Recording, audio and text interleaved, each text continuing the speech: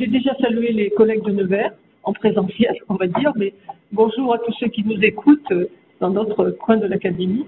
Euh, C'est une présence un peu artificielle, mais quand même, euh, je sais qu'on va se retrouver à d'autres moments.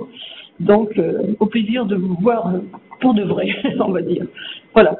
Donc, j'ai dit en quelques mots tout à l'heure que les travaux que j'allais présenter aujourd'hui sont le fruit, comme on vient de le dire, de, la recherche sur le terrain avec des universitaires. Donc, la, parole, c'est vraiment une parole que je vous apporte qui est la, résultante de longs débats avec des collègues dans les, différents niveaux d'enseignement, primaire, collège, euh, lycée, lycée professionnel, euh, et donc euh, une, parole qui, qui, nous a amené à essayer de décrire un petit peu plus le métier attentivement.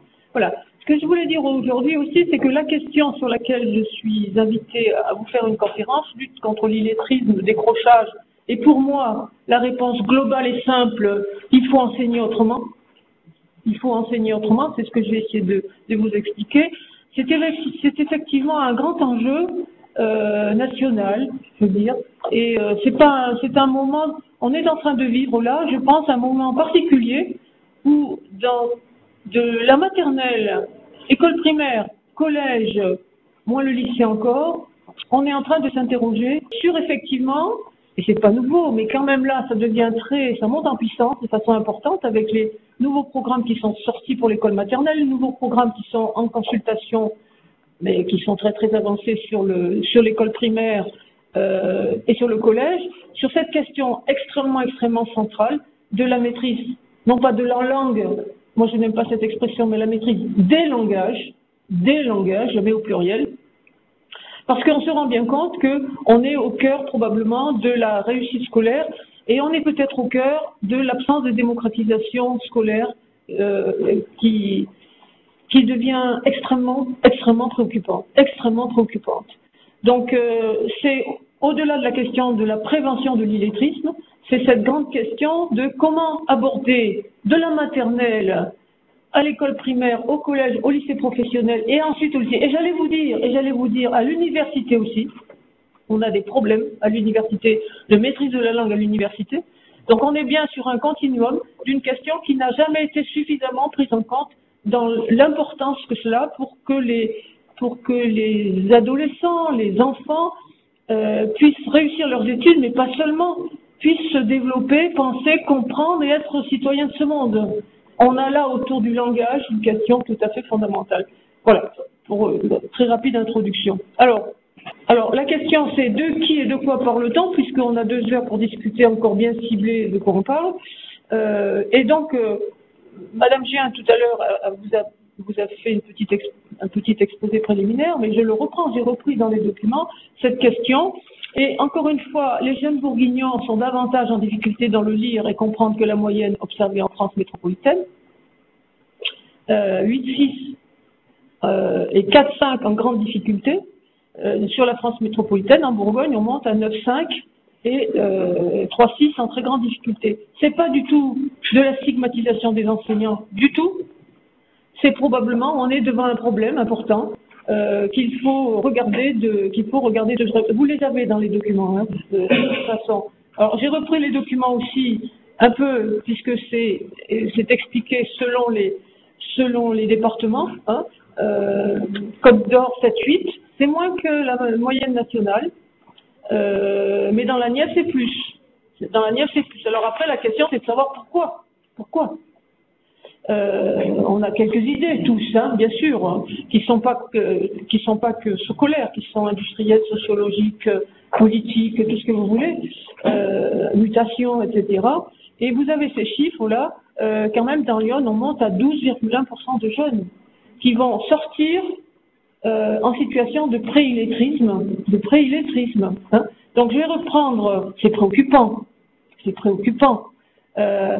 Les définitions qui sont données, elles sont dans la brochure. Analphabétisme, on parle d'analphabétisme pour des enfants qui n'ont jamais été scolarisés. Donc c'est la question que je posais tout à l'heure au, au, principal du, du lycée professionnel. Est-ce que vous recevez des enfants qui n'ont jamais été scolarisés? Je pense pas. Vous en- qui n'ont jamais été scolarisés? D'accord, ok, qui n'ont jamais été scolarisés. Donc ça doit être une minorité, mais il y en a quelques-uns. Voilà. Euh, et qui n'ont jamais été confrontés à l'apprentissage du code écrit dans une autre langue, hein, en, kurde, en syrien, en tout ce que vous voulez. Euh, et donc le, boulot, c'est de les faire rentrer dans un premier premier niveau du code de l'écrit. Hein. Alors, être illettré, par contre, euh, c'est ne pas disposer après avoir été longtemps, longtemps, longtemps scolarisé. C'est-à-dire qu'ils ont fait euh, 10, 12, 13 ans d'école, euh, de compétences de base pour se débrouiller dans la vie, pour être autonome, pour aller acheter son, ticket de train, pour euh, remplir sa déclaration d'impôt ou lire une notice euh, d'une machine qu'on est obligé de mettre en route, etc. Donc, ils ne peuvent pas faire face de façon autonome. Alors, ils ont, vous le savez, des tas de, de stratégies. Hein, de demander aux voisins de faire semblant de ne pas savoir, de, faire semblant de savoir, mais en réalité, ils ne savent pas. Mais ils ont tout un tas de stratégies pour se débrouiller. Et dans les gares, moi, ça m'arrive, ça m'est arrivé plusieurs fois, des gens qui me demandent de faire, parce que ça devient tout automatique, de leur faire leur, ticket pour sortir, par exemple, hein, parce qu'ils ne peuvent pas faire leur voyage euh, tout seuls. Donc, les illettrés, on ne les voit pas parce qu'ils ont des stratégies très filous pour cacher leur illettrisme. Filou. Faut faire, faut, faut encore la face. Et donc, euh, voilà, c'est donc, euh, voilà. Alors, moi, par rapport à ça, je dis néanmoins, néanmoins, les résultats qu'on vous a donnés, qui sont, qui sont des chiffres, ce sont les chiffres des journées de l'armée, hein, sur des tests de l'armée, même s'ils sont très bien faits, euh, tout ça, il n'y a pas de reproche à faire là-dessus, mais qui sont hors contexte de besoin, hors contexte de nécessité, voilà. Donc, euh, et qui sont, qui portent sur le lire, pas sur l'écrire et très peu sur l'oral. Voilà. Ce sont des tests de lecture et de compréhension pour l'essentiel. Bon, ça c'est les tests de l'armée. Mais après, il y a d'autres, il y a d'autres, d'autres évaluations que vous faites euh, dans les classes. Et, moi, quelque part, j'ai tendance à dire, j'ai été euh, très longtemps prof de collège, et en tant que prof de collège, je prenais les SECPA, je prenais à l'époque, c'était les CPPN, les CPA, je ne sais pas si vous vous souvenez, euh, et j'étais toujours très très surprise de voir que ces élèves de CPPN, de CPA qu'on avait mis à l'écart, quand même à l'époque, il y a longtemps ça, mais on parlait de classe poubelle. Vous vous souvenez de cette expression? Vous l'avez entendue? Et donc, euh, on, disait, on va leur faire remplir des choses modestes, très simples, euh, euh, se débrouiller pour voyager, etc., etc. Et je me suis rendu compte que ces élèves-là, en leur proposant des projets intéressants qui les concernaient, mais avaient des compétences totalement inattendues. Je me souviens, le samedi matin, il y avait cours à l'époque, à cette époque-là, le samedi matin, euh, on faisait euh, un petit moment de qu'est-ce qu'on a entendu à la radio euh, dans la semaine, qu'est-ce qu'il y a eu d'inté- d'intéressant dans la radio pour les obliger un peu à écouter, et ils, devaient- me faire une présentation à tour de rôle, etc. Et un jour, un élève complètement catalogué comme non compétent en français aussi bien oral que, que écrit, m'a fait un compte rendu de match de foot meilleur, meilleur que euh, pratiquement un, journaliste de, base embauché comme ça euh, à Radio Auvergne. Et on est restés tous scotchés. C'est-à-dire qu'il avait développé en dehors de l'école des compétences extraordinaires. Et un autre élève qui nous a une, une explication sur, il était, passionné, fou de réglage de moteur. Et avec son père, il réglait des moteurs, des modèles réduits. Et il nous a fait une explication sur quelque chose qui le passionnait, avec tous les termes techniques, la capacité de, fasciner son auditoire. Donc, ce que je veux dire par là, c'est que sûr qu'il y a des indicateurs extérieurs qui montrent des, des, incompétences, des, lacunes très importantes, mais euh, voilà, je veux dire par là que les adolescents dont on parle, euh, ceux-là hein, qui, sont dans, la visée de prévention de l'illettrisme, euh, c'est des adolescents, ça fait dix ans qu'ils sont à l'école et dix ans souvent qu'ils ont été stigmatisés, catégorisés. Ça commence en 5 6e. Jusqu'en 6e, jusqu'en CM2, ça va. Bon, à partir de la 6e, on commence à, ils commencent à être mis dans des groupes de, de faibles, dans des groupes de ceci. Euh, il y a des tas de choses qui se produisent. Progressivement, ils vont d'échec en échec en échec, et ils ont construit par rapport à ces, à ces échecs répétés des douleurs. Ils sont mis de côté. Ils ont été malmenés. Ils ont été malmenés par le système.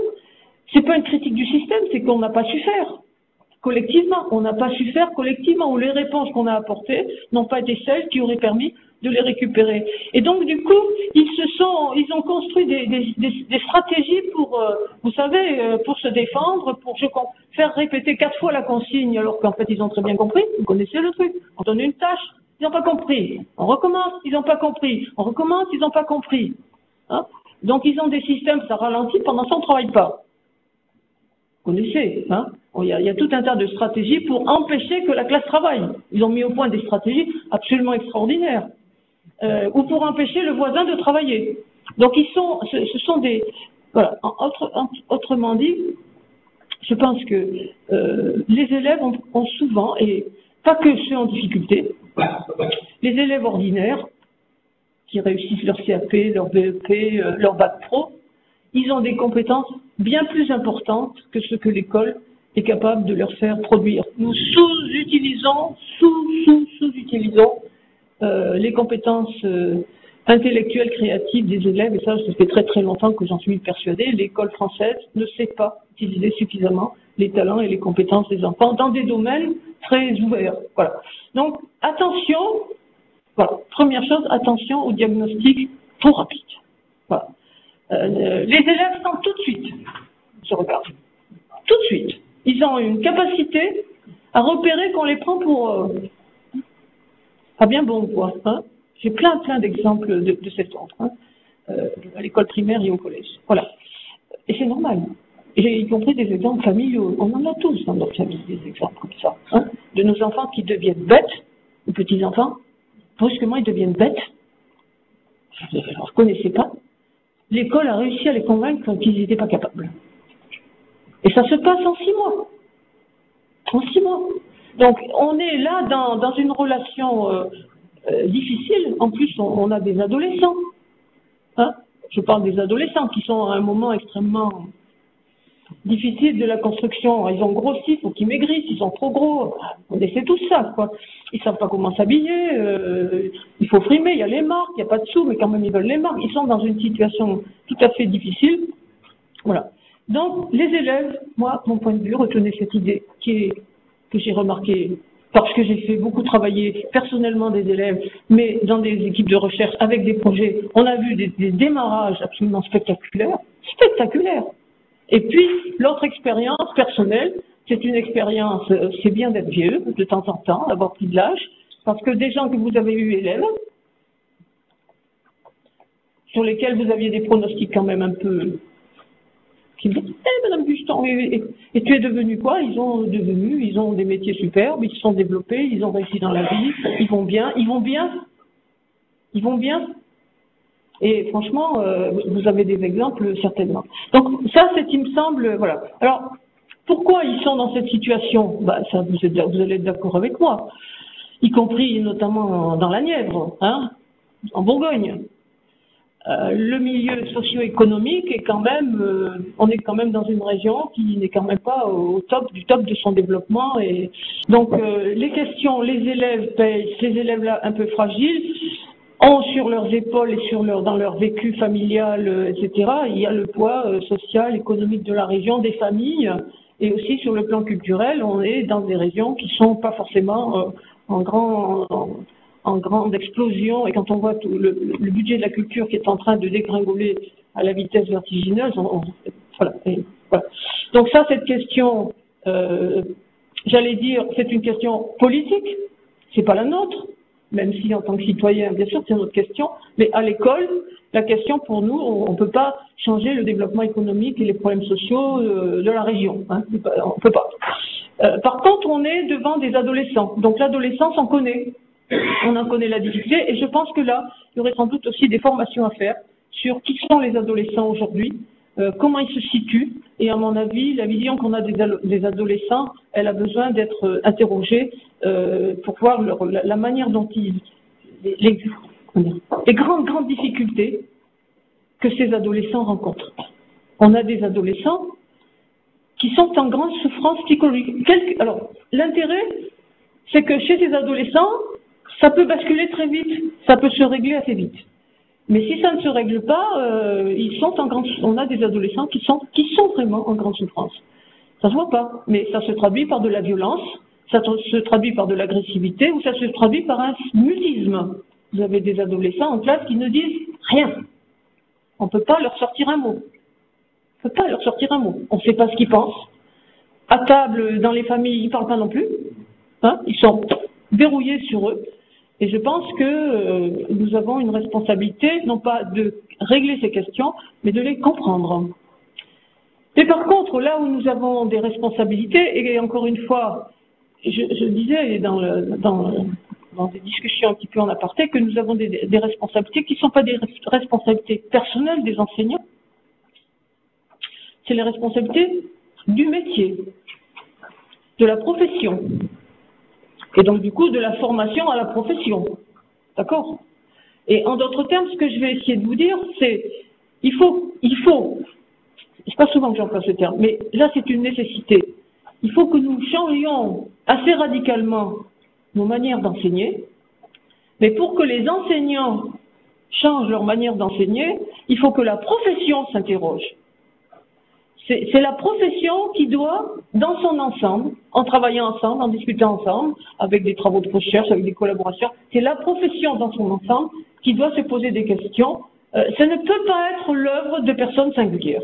J'en suis totalement convaincue, tant le changement est important qui est demandé. Voilà. Donc, ne nous sentons pas coupables de quoi que ce soit, parce qu'on fait partie d'un collectif qui a des règles professionnelles, on les met en œuvre, elles ont une histoire très très longue, ces règles professionnelles. Hein. On, est, on a notre, y compris nous, notre histoire d'élèves qu'on reproduit beaucoup. Et c'est ces règles professionnelles qu'il va falloir faire basculer pour avoir une éducation nationale à la hauteur d'un désir de développement euh, de, de notre pays, j'allais dire. On, est en train de prendre du retard sur le plan de l'école de façon extrêmement inquiétante. Donc c'est l'ensemble de la profession, avec ce que disait euh, le collègue tout à l'heure, avec l'ensemble de ces cadres, de ces formations, etc., qui doit opérer ce transforme. Mais en gros, quel est le but ici? Pour faire simple, hein, pour ces élèves dont on parle, il faut restaurer leur confiance en eux-mêmes. Ces élèves se sentent nuls. Moi, dans ma dans moi, moi en français, on a fait plein d'entretiens avec des élèves. Moi, euh, moi, je sais pas écrire. Moi, je sais pas euh, parler. D'ailleurs, dans ma famille, on sait pas écrire non plus. Ils, reproduisent des choses qui sont, qui véhiculent, euh, etc. Donc, et en plus, ils sont installés dedans. Hein. C'est confortable. C'est très confortable. Moi, dans ma famille, on ne sait pas écrire, dans mon voisin, on lit pas, etc. Mais dans le fond, on, vit bien quand même, c'est vrai. Mais la confiance en eux-mêmes, elle est, là. Première priorité, donc ça veut dire beaucoup de bienveillance, un autre regard, euh, ça veut dire des gestes professionnels dont je vais parler tout à l'heure. Reconstruire le rapport au langage de l'école, quand je dis au langage de l'école, parce que ces enfants, si vous leur faites, ces adolescents, si vous leur faites faire, faire une, argumentation en français ou en histoire géo, ou des, explications euh, dans, un, atelier pour expliquer une tâche ou expliciter, etc., euh, ils, sont, ils bafouillent, ils n'y arrivent pas, etc. Mais si vous leur demandez d'argumenter pour, euh, pour acheter quelque chose ou se faire payer quelque chose par les parents ou pour vendre quelque chose à un copain, pour se débrouiller sur eBay, vous inquiétez pas que certains d'entre eux se débrouillent fort bien en dehors de l'école. Mais c'est les langages de l'école, et je dis bien les langages de l'école, pas au singulier, les langages en carrosserie, les langages en hôtellerie, les langages du tertiaire, plus compliqués encore parce qu'ils sont à la fois techniques mais en même temps de communication, très compliqués. Euh, vous n'avez pas de tertiaire dans votre secteur, mais c'est très très compliqué. Euh, les langages de l'histoire, les langages de la biologie, c'est des langages, d'accord? Donc il faut qu'on reconstruise ce rapport au langage de l'école euh, et puis évidemment restaurer le désir d'apprendre et le rapport à l'école parce que euh, vous connaissez bien, il y a quelqu'un qui s'occupe de l'orientation. L'orientation n'est pas forcément choisie, elle est très souvent subie, subie. Donc vous imaginez le désir et la motivation qu'il y a derrière. Alors pour les réveiller, il, il va falloir ramer. Hein. Mais c'est l'ensemble de ces trois paramètres très importants qui fait que ces enfants vont progressivement s'enquister s'enquister dans des conduites scolaires d'échec. Et ils en souffrent. Et ils en souffrent. Et on, en souffre aussi. Hein. Le collègue disait être heureux de voir les enfants se développer, mais on est aussi très malheureux, très honnêtement, de voir des enfants en échec, parce que c'est notre échec, hein, quelque part. Voilà. Alors, les indicateurs de surface qui alertent, je vais aller vite parce que vous les connaissez bien. J'appelle ça des indicateurs de surface qui alertent. Hein, ils sortent de troisième, vous les récupérez. Il y a des indicateurs très rapidement. Rapport aux usages des langages scolaires, sociaux et professionnels, euh, vocabulaire approximatif, hein, on ne se force pas pour trouver le bon mot, on dit truc, machin ou chose, mais on ne se force pas pour dire le mot exact. Alors on finit par accepter, on les laisse un peu parce que c'est trop compliqué, mais là il y a un problème, des problèmes de syntaxe, mais aussi des règles de communication élémentaires, c'est-à-dire des règles de politesse, des règles de respect de l'autre, sur lesquelles progressivement euh, c'est flottant. Hein euh, on finit par les phrases, euh, c'est très flottant. Et là on est sur des signaux, qui, pas des compétences, hein, encore une fois, pas des compétences, on est sur des signaux qui nous alerte. J'avais un de mes grands, grands amis décédé aujourd'hui, euh, qui, quand on parlait, euh, je croyais que euh, il finissait pas ses phrases, euh, etc., cette approximative, etc., parce que il, estimait que ça valait pas le coup de faire l'effort. Le jour où il a fallu me défendre moi personnellement, parce que j'étais attaqué dans une instance, etc., je le vois prendre un, un langage d'avocat avec des mots précis, syntaxe précise, forme de politesse. J'en suis, j'en ai, intérieurement, j'en pleurais presque. En me disant, il a pris l'habitude de parler approximativement parce qu'on lui finissait ses phrases, etc. En réalité, euh, voilà, ne pas laisser s'installer un usage flottant, approximatif du langage. Voilà. Ça ne veut pas dire les reprendre, hein. ça ne veut pas dire reformuler derrière, mais Attention, on est en classe, on est en sciences, on est en carrosserie, on est en hôtellerie, on est en, électrotechnique. On ne dit pas approximativement parce que sinon il n'y aura pas de communication possible. Il y a une sorte d'exigence tout à fait importante. Mais on a des indicateurs qui nous alertent. Deuxième indicateur tout à fait important de l'école primaire jusqu'au lycée et même j'allais dire quelquefois à l'université, ça m'est arrivé avec des étudiants en formation, euh, le désir violent de ces, adolescents de faire plutôt que de penser sur. C'est-à-dire euh, se, jeter sur les exercices, parce qu'on les fait, on les fait, mais si on leur demande de réfléchir sur comment ils ont fait, comment ils s'ils sont pris pour comprendre, quelle est la stratégie qu'ils ont fait pour euh, réutiliser telle machine, etc., là, ils n'aiment pas trop. Parce que ça prend la tête. Hein. Donc, ils sont dans le faire, plus que dans le penser sûr. Il nous faut inverser le processus. Moins de faire, plus de penser sûr. Évidemment, on ne va pas penser sans le faire. Mais il y a quelque chose là, euh, et moi j'ai vu par exemple des, situations de, travaux de groupe en troisième, non c'est pas en troisième, dis une bêtise, des travaux de groupe en, en collège euh, ou de rattrapage mathématique, rattrapage mathématique, où l'enseignant avait tout un tas d'exercices les uns sous les autres, et elle faisait un exercice, elle le corrigeait, elle faisait un exercice, elle le corrigeait, sauf que les élèves n'écoutaient pas la correction quand ils étaient pressés d'aller au bout des exercices. Ils voulaient faire les exercices. La correction ne les intéressait pas. Donc je dis, c'est tout simple, tu les plies, les exercices, et tu il faudra déplier pour passer au second. C'était tout simple. Hein. et des fois, il y a des petits trucs, des petits gestes, euh, tout ça, pour que les, élèves soient dans le penser sur le faire. Voilà.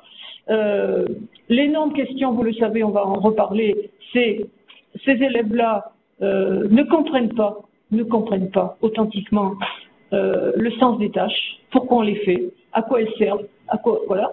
Ils ne comprennent pas. Les tâches scolaires, ils ne les comprennent pas. C'est pas les consignes qu'ils comprennent pas. Ils, comprennent le français les trois quarts du temps.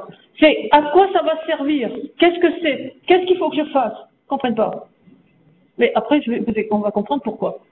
Des engagements, des motivations, euh, les postures devant l'État, je vais y revenir. Hein, posture scolaire, premier abandon, refus, je vais y revenir un peu plus loin. il y a des postures typiques que vous repérez tout de suite. Être dans le faire, voilà, c'en est une.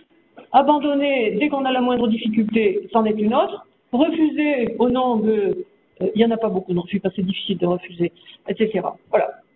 Et puis, euh, les, les, indicateurs qui alertent, c'est mutisme, violence verbale, parce que c'est de l'ordre de euh, la, la, considération de soi. La considération de soi. Hein? L'image de soi comme élève mathématicien, comme élève historien, comme élève scientifique, comme élève carrossier, comme élève, etc. Hein? Voilà. Et puis, un indicateur, c'est l'absentéisme ou le, zapping en cours. Ils sont là, mais ils sont pas là. Hein euh, ils font qu'un petit bout du travail, comme ça ils sont en règle. C'est une espèce de zapping, là, parce que, voilà, on, ça, ce sont des indicateurs simplement de surface. Mais on a trop tendance à mettre des étiquettes sur ces indicateurs, surtout, surtout euh, les enseignants extrêmement débutants. Les enseignants professionnels experts, ils ont commencé à mettre de la distance, ils savent un peu ces choses-là. Alors, donc de quoi parle-t-on euh, Je conclus sur cette première partie. Être en situation de pré-illetrisme, pré-illetrisme, pré-illetrisme, c'est pas faire des erreurs d'orthographe, c'est pas ne plus maîtriser la lecture et l'écriture, hein, c'est ne plus, pardon, ne plus maîtriser la lecture et l'écriture, c'est-à-dire c'est ne plus maîtriser des tâches. Or, or, nos enseignants, faute de formation, euh, il faut le dire, euh, quand on leur parle maîtrise de la langue, euh, ils, vont avoir tendance à surcorriger les fautes de vocabulaire, les fautes d'orthographe, les fautes de grammaire. Il n'est pas là le problème. Il n'est pas là le problème. Il est plus grave que ça. Alors, d'une manière, manière un peu ironique, ironique j'ai repris La Fontaine. Ils ne mourraient pas tous, mais tous étaient touchés. Euh, ça doit être les animaux malades de la peste, quelque chose comme ça. Je veux dire par là que les élèves en situation de préillettrisme, c'est juste, comment dire, un iceberg, c'est le dessus de l'iceberg. D'accord? C'est 8-9% qui dépassent, mais en dessous, c'est pas tellement, tellement mieux. D'accord? C'est-à-dire que c'est les, les résultats PISA, qu'est-ce qu'ils nous disent? Ils nous disent que ça va pas. Ils nous disent que ça va pas. Ça va, ça va bien pour certains, de milieux favorisés de préférence, ou de classe moyenne supérieure. Mais pour l'ensemble des autres, c'est pas terrible. Ça va pas très mal non plus. Pas catastrophique. Mais il y a quand même encore beaucoup trop d'élèves qui sont pas trop compétents en matière de compréhension, de lecture, euh, etc. Voilà. Donc en gros, euh, on a un retard conséquent euh, et surtout, et surtout, panne de la démocratisation scolaire, grosse panne de la démocratisation scolaire. C'est une, c'est une, c'est une question. Ça, c'est une question politique. L'école est au cœur de la, vraie politique. Hein, voilà. Alors, à ne pas reproduire, à ne pas reproduire. Donc, ces élèves qui ont eu dix ans d'échecs qui se sont répétés, plus ou moins un peu accumulés, d'images, etc. Euh, Qu'est-ce qui, en réfléchissant un peu, un peu vite peut-être, qu'est-ce qui, dans le système scolaire, depuis, pas la maternelle, depuis le CP, jusqu'à la fin du collège, qu'est-ce qui n'a pas bien fonctionné Qu'est-ce qui fonctionne pas bien pour ces élèves-là, mais qui fonctionne très bien pour euh, les enfants de profs qui s'en sortent très bien Mais pour les autres, pas tous, mais quand même beaucoup mieux que les autres, parce que les parents, ils expliquent euh, les règles. Le modèle, qui est notre modèle ancestral, ancestral, je fais la leçon, j'ai fait une faute d'orthographe, bravo. Alors là, bravo. Là, chapeau. oui, hein bon. Le modèle, la leçon, je fais la leçon de français, de n'importe quoi, d'histoire, de géographie, de biologie, euh, de euh, technique, etc. Et qui va être suivi de multiples exercices, on va dire, d'application, qui est notre modèle ancestral, euh, des exercices qui se succèdent. Moi, je suis très spécialiste de didactique du français, donc je prends mes exemples là où je connais bien. Ça ne marche pas. Ils ont fait, un jour j'ai calculé, mais j'ai oublié, j'ai calculé le nombre d'heures d'orthographe et de grammaire que les élèves avaient fait dans une scolarité à partir du CP. Mais c'est des milliers et des milliers d'heures qu'ils ont fait. Vous ferez le calcul un jour, ça va vous sidérer. Vous multipliez le nombre d'heures par semaine par le nombre de semaines, euh, plus par le nombre d'années, et vous allez voir qu'ils ont fait des milliers et des milliers et des milliers d'exercices pour un résultat très réduit. Donc ça veut dire que, ce, y compris à l'université, y compris chez les professeurs d'école que j'ai formés, compétences, oui, même moi, j'y suis, les compétences en orthographe, grammaire, conjugaison, je peux vous le dire, y compris chez les jeunes professeurs d'école, elles sont pas au top. Donc ça veut dire que ce modèle-là ne fonctionne pas bien. Deuxième, chose, et ça va être le cœur, de cœur de probablement de la transformation des pratiques, lorsqu'on va dans les classes, moi je vais beaucoup dans les classes, j'y vais encore, qu'est-ce que j'observe? Qu'il y a très peu de lecture, très peu d'écriture, très peu de travail sur l'oral. Qu'est-ce que j'observe? Des tâches courtes qui se succèdent, qui sont juxtaposées, qui sont déconnectées. Probablement qu'on a là un modèle qui est issu d'une certaine conception pédagogique, qui avait sans doute ses raisons d'être à une époque, qu'il faut que les enfants soient dans le faire, et plus on va leur donner d'exercices à faire, plus ils vont comprendre. C'est ce modèle-là qui est le modèle massif de l'éducation nationale au niveau, il bouge un peu en ce moment, mais quand même.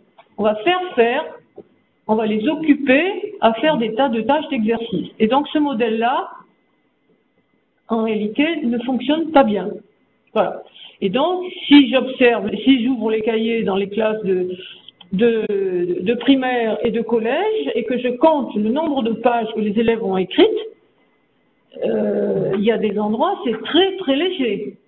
Par contre, il y en a d'autres, ils ont écrit des cahiers, des cahiers, des cahiers de brouillon et des cahiers, des cahiers. Donc il y a d'une classe à une autre, il y a des différences très considérables avec cette idée qu'à une époque, elle n'est pas si loin, il ne fallait pas laisser de fautes d'orthographe dans les cahiers, donc on n'avait pas de cahier, comme ça il n'y avait pas de fautes d'orthographe. Parce qu'on ne pouvait pas les corriger de toute façon. Voilà. Et donc il y a tout un tas de mécanismes qui se sont mis en place. Euh, voilà. Troisième grosse question, troisième chose à ne pas reproduire, c'est le fait que, alors vous êtes bien placé pour le savoir, mais je crois que vous, travaillez ensemble, Dieu merci, ça commence dans le, en lycée professionnel, ça commence bien, ça, avance bien, mais c'est pas le cas en collège, et c'est la réforme du collège, c'est que le prof d'histoire fait sa leçon, le prof de biologie fait sa leçon, le prof de maths fait sa leçon, demande des activités d'écriture qui ne sont pas les mêmes, qui ne sont pas les mêmes, demande de décrire, d'écrire en sciences, d'écrire en histoire, d'écrire en français, ce n'est pas la même chose, mais jamais on prend le temps pour les élèves de faire le lien entre d'écrire dans les différences, qu'est-ce qui est dans les différences, qu'est-ce qui est commun, qu'est-ce qui est différent. D'écrire dans, un, dans le travail d'atelier et d'écrire en français, ça n'est pas la même chose. Pourtant, il y a des choses identiques. Expliquer, justifier, ça n'est pas la même chose. Donc, euh, le lien entre les, les pratiques langagières, une, un des aspects tout à fait fondamentaux de ce changement pédagogique, c'est sur les questions de, langage au pluriel, de s'entendre sur qu'est-ce qui est commun, qu'est-ce qui est différent, pour que les élèves le sachent, parce qu'ils ne le savent pas. Le prof le sait, d'ailleurs le prof ne sait même pas très souvent euh, qu'est-ce que ça veut dire raconter en histoire et raconter euh, en, biologie. Voyez, souvent, euh, les profs, non, du fait de leur formation, du fait de leur formation, voilà. Euh, à ne pas reproduire la focalisation sur les normes, les codes, le bien parler, le bien écrire, euh, l'orthographe, la grammaire, la conjugaison, l'orthographe, la grammaire, la conjugaison, l'orthographe, la grammaire, la conjugaison, une espèce de focalisation. J'ai mis une citation que j'ai empruntée à quelqu'un que j'ai entendu en conférence, je sais plus de qui c'est, euh, d'une personne qui disait euh, J'ai beaucoup écrit, mais j'ai rarement été entendu. C'est-à-dire que l'élève écrit, mais on n'écoute pas ce qu'il dit, on, corrige ces fautes d'orthographe. Qui l'a dit, on ne sait pas, on ne sait plus.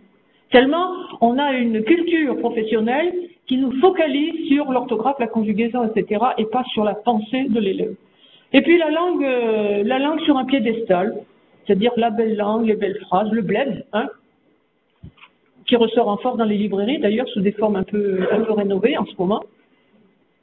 Euh, non, moi je parle de la langue laboratoire de la pensée.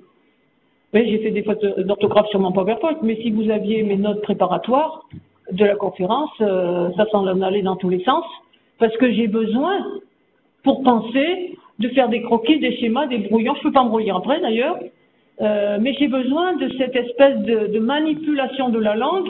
Puis j'ai besoin de parler aussi. Hein pour pouvoir être sûr, j'ai discuté un tout petit peu pour me rassurer si j'allais bien ce sens, sur quoi il fallait que je mette l'accent, etc. La langue, c'est le laboratoire de la pensée. Le laboratoire de la pensée. C'est pas des normes des corps du bien parler, même si tout à l'heure j'ai dit que sur le plan social, faut que les élèves comprennent qu'on est dans une, une, socialité et socialisation scolaire. Ça, c'est de l'ordre de la communication. Il n'en demeure pas moins que la langue, elle, est là pour progressivement approcher. Euh, voilà. Donc ça, c'est.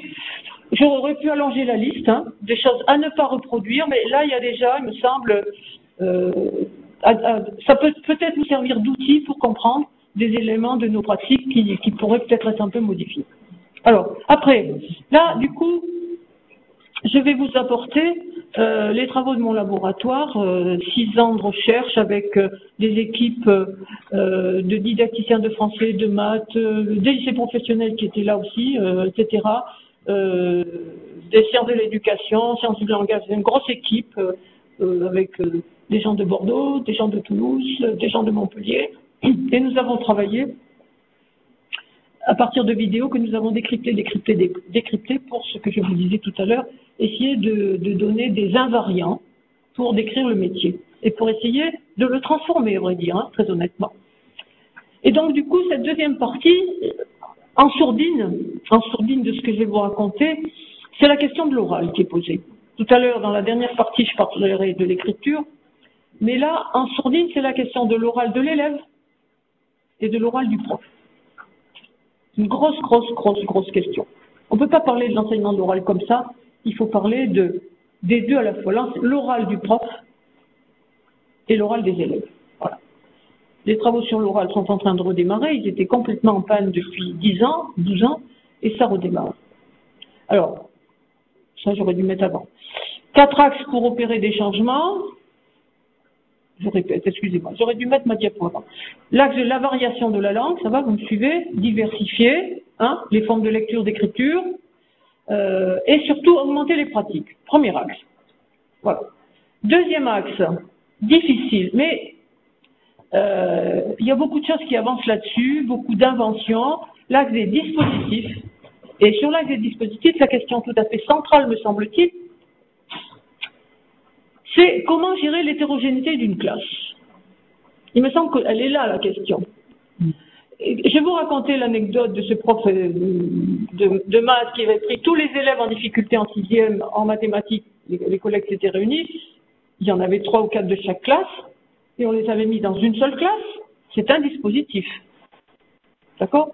Mais on avait pris un dispositif où on avait fait de l'homogénéisation. Mais c'est un rêve parce qu'en fait, ils étaient quand même hétérogènes. Hein parce qu'ils n'étaient pas en difficulté sur les mêmes choses. Donc voilà. Donc la question des difficultés dispositifs, c'est la question de comment je peux gérer mieux, autrement, l'hétérogénéité de la classe. Là, il y a des réponses qui, existent dans les pratiques pédagogiques. Je vous en donnerai une tout à l'heure un peu plus dans le détail, à laquelle je crois beaucoup.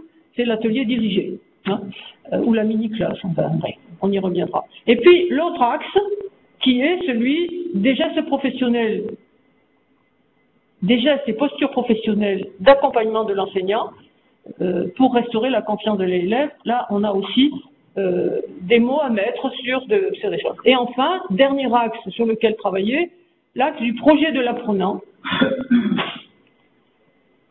voilà. Alors, je vais essayer de passer à la suivante. Très, voilà.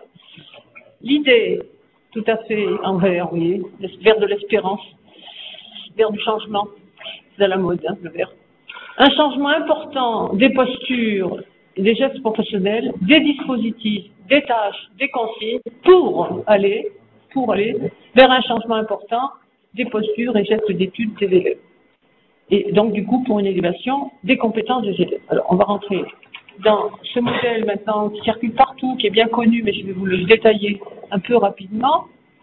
L'idée, euh, que, qui est là-dedans est une idée de base qui ne va pas vous surprendre, que vous connaissez par cœur, c'est que l'enseignant, lorsqu'il est devant ses élèves, on parle du présentiel, hein, pas de l'enseignant au bureau. Lorsqu'il est devant ses élèves, il fait 50 choses à la fois. Voilà. Il fait beaucoup, beaucoup de choses à la fois. Et nous avons essayé de regarder quelles étaient ces différentes préoccupations, de les classer, voilà, dans un certain nombre de paquets en jaune, qui sont euh, ces préoccupations. Alors, je vais recommencer par le sud parce qu'on vient de sortir d'un incident technique et on est en plein dans le pilotage des tâches, c'est-à-dire gérer, pendant qu'on fait cours, Le temps, la pendule, là je suis un peu inquiète le temps. Je regarde la pendule non-stop. Euh, est-ce que j'aurai le temps de finir le temps? Euh, Est-ce que mon diaporama, j'aurai le temps de le finir? Est-ce que, quand on est en classe, est-ce que j'aurai le temps de faire tous les exercices ou pas tous? Donc la gestion du temps, voilà. Cette gestion est très difficile parce que c'est une gestion du temps de la leçon, mais c'est en même temps une, gestion du temps de la séquence, si vous avez une séquence un peu longue, et, et même la gestion de l'année. C'est-à-dire, il y a des choses, quand j'étais prof, je savais que je pouvais passer vite, tant pis, parce que je savais que j'allais les retrouver deux ou trois fois euh, ultérieurement, donc il y a la première couche, deuxième couche, troisième couche, quatrième couche, ce que les débutants ne savent pas faire. Hein. Quand on a un peu de bouteille, on sait qu'on aura l'occasion de retrouver cette question. Donc on peut laisser filer des choses. Voilà. Question du temps, et en même temps, la chose la plus difficile à comprendre, pas pour un enseignant expert, mais pour un enseignant débuté, c'est que le temps de l'apprentissage des élèves n'est pas le temps de la leçon. Pour apprendre, pour certains, ils apprennent très vite. Et pour d'autres, alors c'est typique pour le CP. Parce que certains vont rentrer dans les apprentissages pratiquement fin décembre, et d'autres, d'un seul coup, au mois de mars, bingo, c'est gagné. Hein parce qu'il aura fallu décanter d'une autre façon, etc. Donc le temps de l'apprendre de les élèves, c'est une dimension pédagogique extrêmement, extrêmement importante pour l'enseignant, qui fait qu'il va reprendre d'une autre façon, revenir. Mais le débutant, il ne sait pas trop faire ça. Hein. Il croit que c'est une fois qu'il l'a fait, voilà, il va le refaire à l'identique, ça marche toujours pas, il le refait à l'identique, ça marche toujours pas, alors qu'il faudrait abandonner pour reprendre d'une autre façon ultérieurement. Ça, c'est la gestion du temps, très difficile dans le métier. Et en même temps, la gestion des espaces. Hein. alors, vous avez l'atelier, vous pouvez ranger ou pas ranger. Euh, c'est un collègue que j'ai rencontré, que j'avais eu comme jeune prof là qui, qui est bouleversé parce qu'on lui a changé tout son atelier, il peut plus euh, ranger, nettoyer tout avec ses élèves comme il avait l'habitude de le faire, ça le perturbe, ça le perturbe beaucoup, voilà. Euh, et ça et ça modifie l'atmosphère euh, et les responsabilités dans le dans l'équipe, ça modifie beaucoup de choses. Donc gérer les contraintes d'espace, de matériel, qui marche ou qui marche pas, de, de livres, de tâches, de papier, de photocopies, etc. C'est ce qu'on va appeler le pilotage des tâches.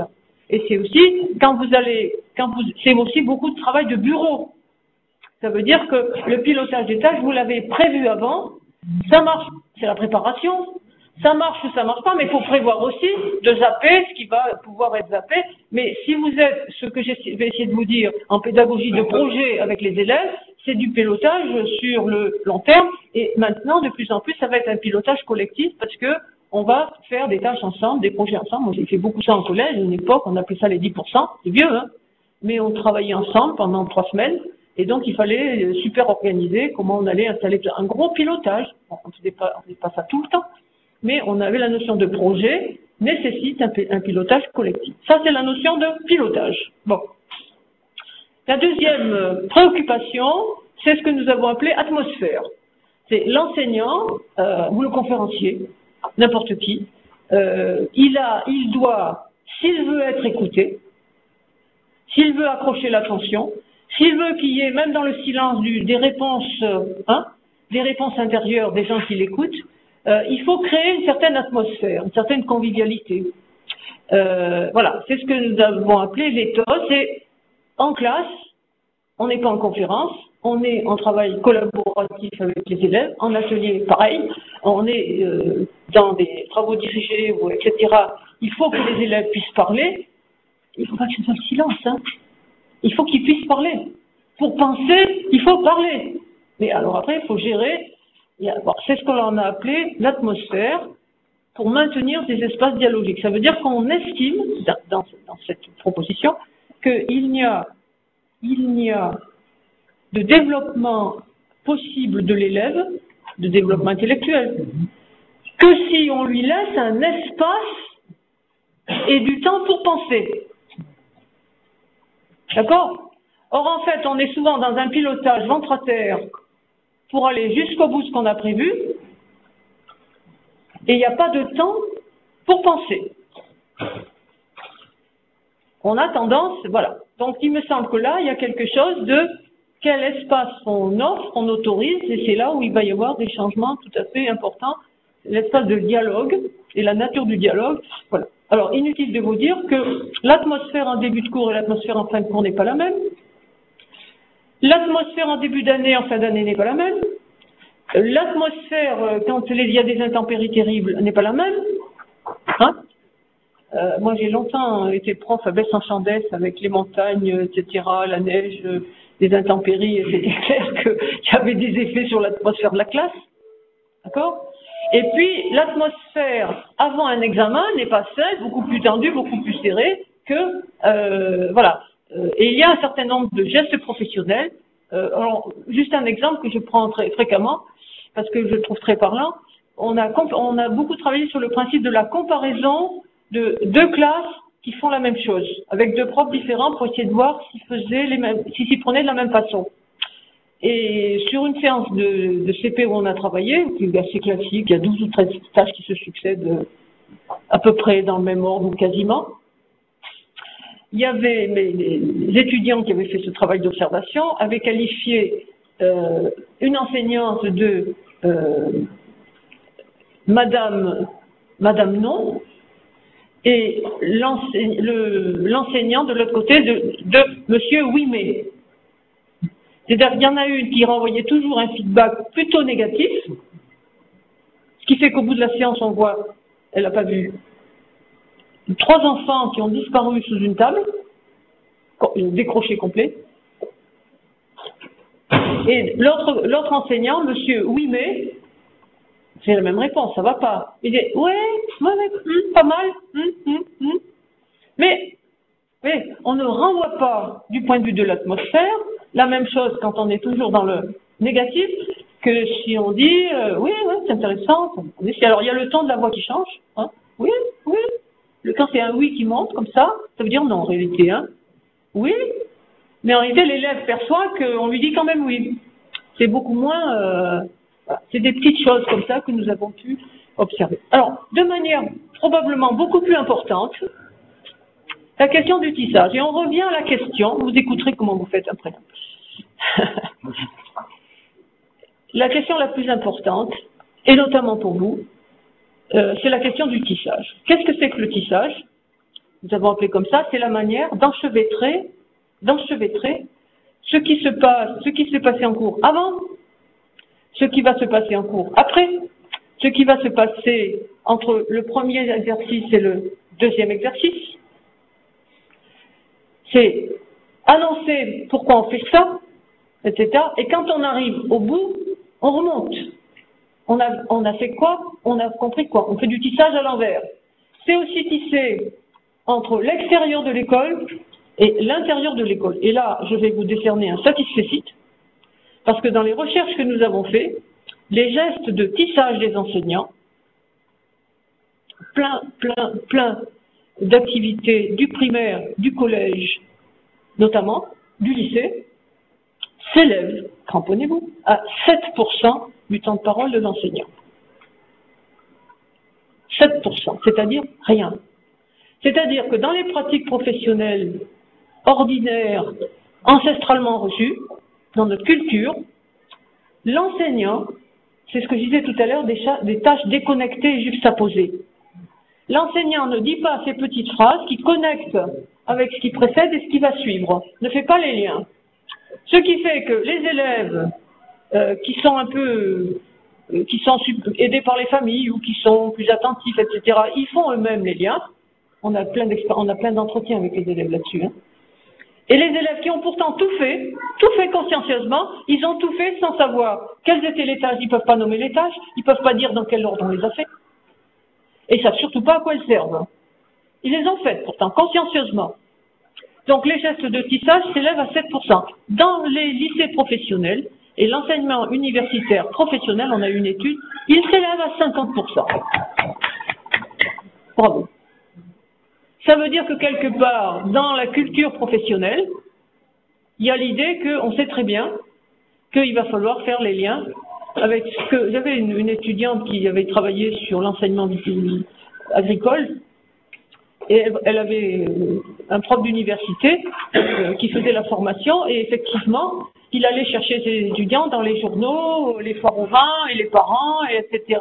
les élèves étaient complètement dans leur milieu social familial sur lesquels on s'appuyait, sur lesquels on s'appuyait, sur la culture familiale pour donner du sens aux exercices, etc. Et il y avait des liens constants. Et je pense que euh, le décrochage scolaire au collège est très très lié, de mon point de vue, à cette question de l'absence de lien entre les disciplines et entre les tâches. Donc ces gestes de tissage, prenez-en conscience, mais je pense que vous, chez vous, dans, votre, dans les lycées professionnels, il y a vraiment une culture de la prise en compte de, l'élève, de ce qu'il va faire, il y a un accompagnement. Euh, alors il y a des phrases hein, qu'on a relevées tout à fait typiques.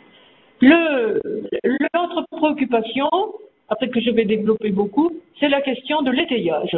C'est-à-dire que enseigner, c'est c'est pas faire à la place de l'élève, c'est essayer de lui faire comprendre, pas toujours facile, de lui faire faire, surtout quand on a des élèves qui parlent très peu français, c'est de lui faire faire, c'est de lui faire dire, puis de faire écrire, etc.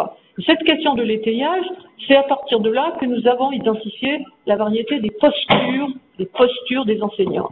Et je vais y revenir. Alors évidemment, au cœur de tout ça, dans les préoccupations, c'est qu'on a un objet d'enseignement. Un objet de savoir ou une technique ou une attitude que l'ensemble de ces préoccupations de tissage d'atmosphère de pilotage, c'est parce qu'il y a une visée didactique. On est payé pour, non pas pour faire euh, du gentil animateur, on est payé pour faire apprendre les élèves. Mais le problème est aussi, très souvent, que cette visée didactique, elle est complexe, euh, elle, est, multiple. En français, euh, il y, a, toujours quatre ou cinq compétences en même temps complètement entremêlées, en histoire aussi. Je suppose que dans les autres disciplines aussi. Quelle est la visée très précise de, de, de l'apprentissage et pas toujours facile à déterminer. Voilà, quand on fait classe, on a toujours ça en même temps dans la tête. Voilà. Je vais Alors, je reviens sur la question et puis je passerai aux postures d'enseignant de l'élève. Est-ce que je peux remonter du coup? Mon Dieu. Oui, ça marche. Je, je vais d'abord parler des postures d'apprentissage des élèves. Ça, ce sont des travaux anciens que nous avons fait en collège en troisième. Et nous avions pris des élèves de milieux très très favorisés, l'abri, bon chic, bon genre, et puis euh, dans un autre collège, ZEP Profonde, à qui on a donné la même tâche, les mêmes consignes, et c'est la même personne, moi, qui faisait les passations, donc il n'y avait pas d'effet maître particulier, etc. Et ils avaient une consigne de lecture, d'une de lecture d'une petite nouvelle assez courte de Denax, sur laquelle ils devaient ensuite faire un commentaire, un petit commentaire, euh, voilà. Et donc nous avons étudié évidemment leur compréhension, leur leur lecture, mais on a essayé de regarder dans la manière de répondre s'il y avait des manières de faire différentes. Et nous avons identifié, alors après ça a été vérifié sur des quantités, des quantités de situations, ça tient bien la route. Mais voilà ce que nous avons identifié comme posture d'apprentissage des élèves. Nous avons des élèves dont la posture d'apprentissage centrale, c'est ce qu'on a appelé, tout le monde dit que c'est pas bien choisi, mais j'ai pas trouvé d'autre temps, euh, la posture scolaire. Il est scolaire, c'est pas positif, c'est plutôt, euh, voilà, il, il est en insécurité, euh, il veut pas que son voisin, il veut pas que son voisin voit, donc il se camoufle, il demande 50 fois la consigne de peur de se tromper, euh, voilà, il n'y a que le maître, les autres n'existent pas, les pères n'existent pas, c'est le père, il est dépendant du maître, euh, il est complètement sur les ventes. Ou alors, ou alors il fait semblant. C'est-à-dire que il fait semblant de se conformer à minima pour avoir la paix. C'est-à-dire, il répond aux trois premières questions brillamment, il a attiré l'attention du maître, qui, ne, qui dit ça va, et après il s'occupe d'autre chose. J'ai observé ça dans les classes très souvent. Hein, et du coup, l'activité, c'est d'empêcher les autres de travailler. Donc, euh, voilà, la posture scolaire, globalement, il n'y a pas trop d'autorisation à penser. C'est-à-dire, on a, posé une question, on va répondre par une phrase, parce qu'on a un minimum, on va mettre quelques mots et on, on est en insécurité. Posture scolaire. La posture ludique. C'est une posture par laquelle vous n'avez pas plutôt, alors on l'a très bien observé en français, je ne sais pas si ailleurs ça existe, vous me direz. Mais c'est, on donne une consigne et le souci premier de l'élève, c'est de la détourner. C'est-à-dire euh, de faire autre chose, de détourner la consigne. Et c'est quelque part une manifestation euh, de créativité hors, hors des normes. Hein euh, on, avait un élève qui disait dans un texte de sixième, je sais plus, non, CEP2, euh, moi, dans toutes les histoires que je raconte, j'introduis une araignée. Effectivement, on a observé qu'il se débrouillait, comme Plantu qui introduit, vous savez, petite souris là, lui, il introduisait dans son texte, pour se donner un petit espace de ses consignes scolaires qui cassaient les pieds, pour dire ce qui est, de se trouver un petit espace de liberté.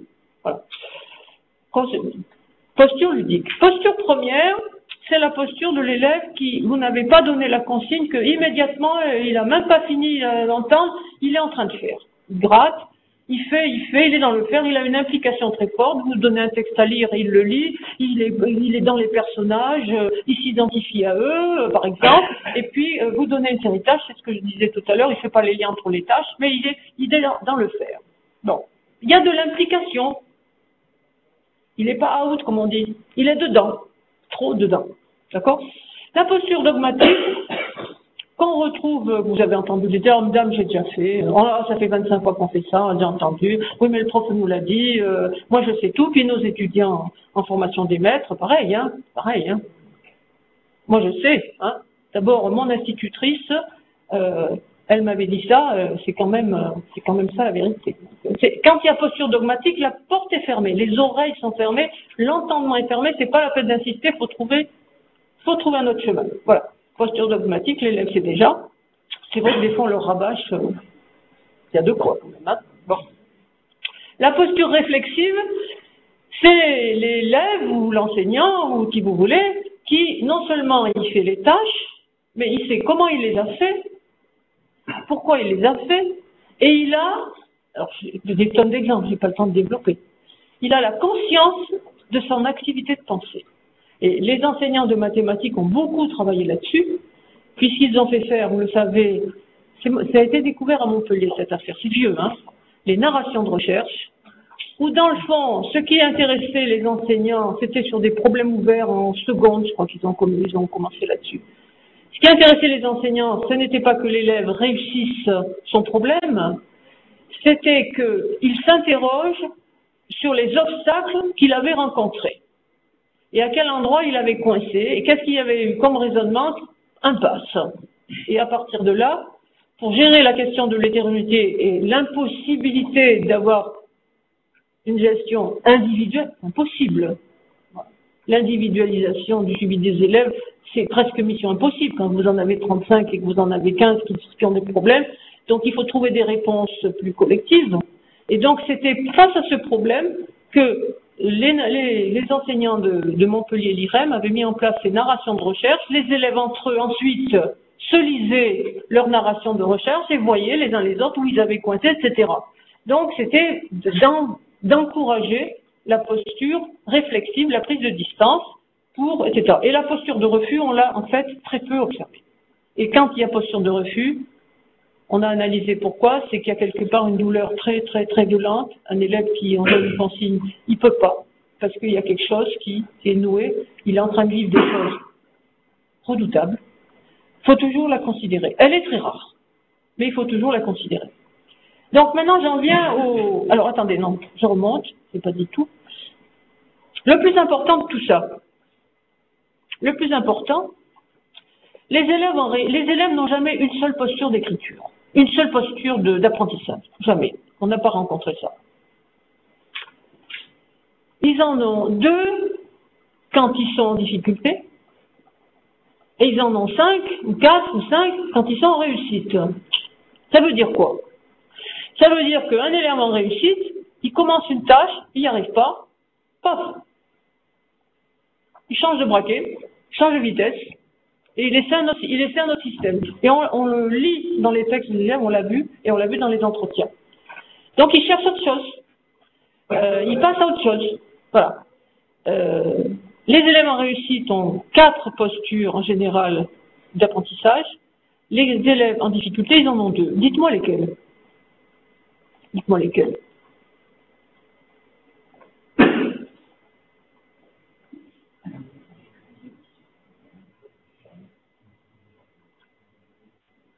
lesquels. posture première. Posture première et posture scolaire. Je dis en difficulté et qui, et qui ont et qui sont des élèves qui ont envie qui sont corrects, qui ont qui sont pas en refus d'école, etc. Mais quand même, ça marche pas.